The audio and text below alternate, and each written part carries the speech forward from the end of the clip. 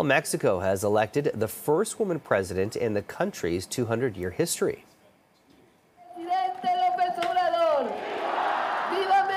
Claudia Sheinbaum earned between 58 and 61 percent of the vote. The climate scientist and former Mexico City mayor said that her two competitors called her and conceded her victory. She will start her six year term on October 1st.